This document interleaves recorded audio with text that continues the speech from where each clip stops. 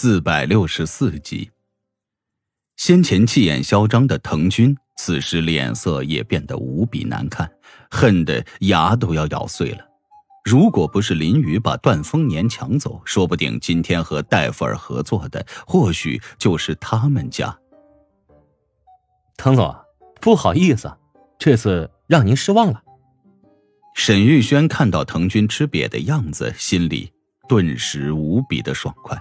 他不忘狠狠的揶揄了他一句。不过呢，你也不要泄气啊，第二名已经是很好的成绩了啊！沈玉轩学着藤军嚣张的样子狂笑起来，整个人看起来比藤军还要欠打。呃，这这嘛玩意儿？嗯，扶扶我一下。藤军只感觉到胸口气血翻涌，站都站不住了。赶紧和旁边的人说了一声，让他们把自己扶住。呀，滕总，您这是哪儿不舒服吗？没关系，没关系，我是大夫，要不要我给您扎两针？林雨也借机笑眯眯的奚落他两句，只感觉到心里畅快无比，刚才的抑郁之情一扫而光了。滕军咕咚一下咽了两口唾沫，颤声说道。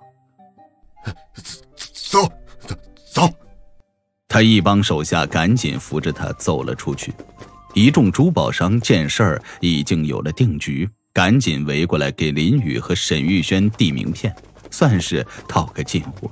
他们深知，不管他们情愿与否，合计都已经成为了今天展赛最大的赢家。随后，合计和戴夫尔签订了合作协议，在媒体的共同见证下。林雨、沈玉轩和布兰奇手紧紧的握在一起，举起来。嘉荣啊，今天真是痛快呀！啊，哎呀，我就像失去神经，我感觉不到呼吸。沈玉轩兴奋的哼着小曲儿。等到他和戴夫尔敲定了所有细节，从商场里出来的时候，已经是晚上十点钟了。外边的雪已经停了，但是薄薄的雪花已经将地面整个覆盖住。其他的珠宝商和员工早就已经走了，门口就剩下了三三两两几个人在叙旧。滚！谁让在这儿的？这个时候，旁边一声怒喝传来，只见一个保安一脚把一个十五六岁的黑瘦男孩踹在了地上。男孩的手里头捧着一捧包装精美的单枝鲜花，顿时散落一地。你做什么？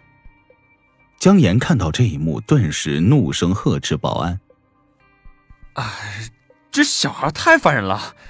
我说了好几次了，叫他走，他不走。”保安挠挠头，有些无奈：“你有没有点同情心？他这个年龄，这么晚了出来卖花，肯定是有什么苦衷。”江岩气呼呼的瞪了一眼旁边的保安，接着俯身去帮那孩子捡鲜花。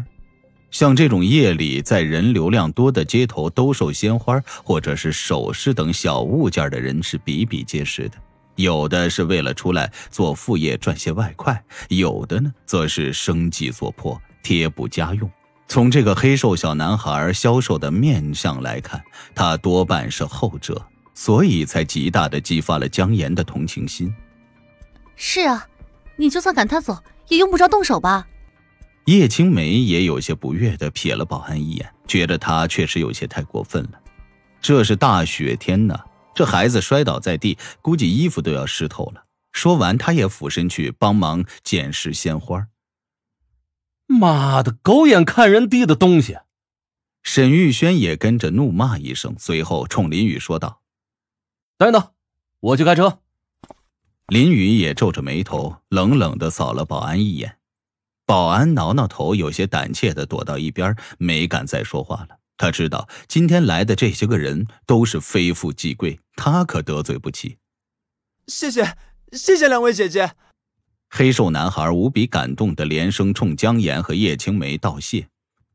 等到众人帮他把鲜花捡起来之后，小男孩仍旧不停的道着谢。姐姐。这朵鲜花送给你。说完，他突然抓出了一支鲜花，朝江岩捅了过去。是的，他那手势不是递就是捅。鲜花的顶部直取江岩腹部，林雨面色突然一变，急喝一声：“小心！”虽然林雨没看到小男孩手里那花有任何问题，但是小男孩拿花捅过来，这手势实在是太过迅速，也太过专业了。这手势如果不是经过特殊训练的人，绝对是施展不出来的。话音一落，林雨已经以迅雷不及掩耳之势挡在了江岩的跟前。一把抓住了黑瘦男孩的手，啊，这，大哥哥，怎么了？黑瘦男孩面色微微一怔，你手里拿的什么？林雨把他的手腕一扭，男孩顿时惨叫一声，手下意识一松。林雨另一只手把花接住，用力一捏，将花和花茎揉得粉碎。随后他面色一惊，竟然真的只是一朵鲜花，里面什么都没有。可是刚才小男孩的手法当真是刺出来的呀，宛如拿匕首一般。嘉荣，你做什么呢？大惊小怪的。江岩被他吓了一跳，皱着眉头说道：“此时他的注意力都在那男孩这儿，并没有注意到旁边满脸胆怯的保安面容也突然变得狠厉起来。”眼中闪过了一丝寒光，迅速的从怀里掏出一把装有消音器的手枪，对准了林雨，毫不迟疑的扣动了扳机。林雨因为太过专注，压根就没有注意到这一幕，但是他旁边的叶青梅却是看到了，面色突然一变，一个箭步抢在了林雨的跟前，噗的一声，一声闷响，子弹穿透皮肉的声音，鲜血宛如点点梅花溅落在地面上。刺目，惹眼。叶青梅身子一抖，睫毛一颤，脸上闪过了一丝痛苦，但是眼中却是无比满足。未来得及发出一丝声响，身子便轻飘飘的往地上倒去。师姐，林雨大惊失色，嘶吼一声，一把揽住了他。看到他的腰后橘白色晚礼服上迅速蔓延开的血花。他顿时万箭穿心。刚才开枪的保安面色一变，没想到他会失手，再次利落的扣动了扳机。但是这一次，林雨可没有给他开枪的机会。纵然他抱着叶青梅，他的速度也丝毫没有置换，闪电般的窜到了保安的面前，一脚踹在他肚子上。那保安犹如出膛的炮弹一般，狠狠的撞在后面的石柱上。可能是因为这一撞给他的腰撞麻了，所以他没有丝毫的痛感，立马做事起身去捡那掉落在地上的手枪，但是他怎么也起不来。随后后背传来了一丝异样的感觉，他伸手一摸，入手满是湿腻的鲜血，而且还有一处坚硬的突出。等他摸清楚后背坚硬的突出之后，面色猛然一变。他的脊椎竟然硬生生的被林雨踹成了两截儿，破体而出了。他心头猛地一颤，噗的一大股鲜血从胸口涌了出来。只见他脖子一歪，身子抖了抖，便再也没有丝毫的气息了。周围的人群见到这一幕，立马尖叫起来，四散而逃。这个时候，江岩突然发出了一声凄厉的尖叫。只见刚才那黑瘦小男孩手里突然多了一把明晃晃的军刺，直冲江岩而去。眼见着军刺就要刺到江岩的身上，一辆黑色林肯车猛地窜了出来，砰的一声将那黑瘦男孩撞飞了出去。那男孩在空中划过一道抛物线，重重的落在地上，滚了几下便没了动静。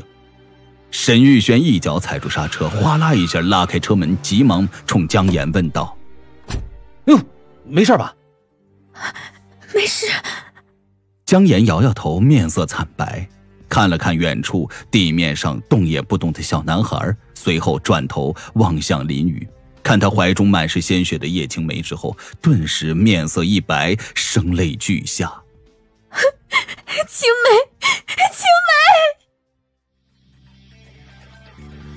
本集故事播讲完毕，请您继续收听下一集。